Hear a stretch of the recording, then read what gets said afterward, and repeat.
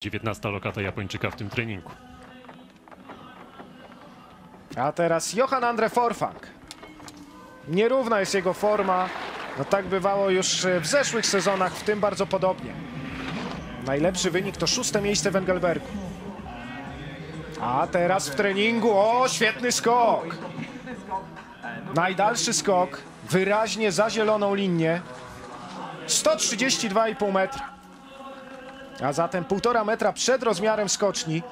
No mówi się, że będzie teraz ten obiekt sprzyjał zawodnikom, którzy potrafią latać. Niewątpliwie Forfang do tego grona się zalicza.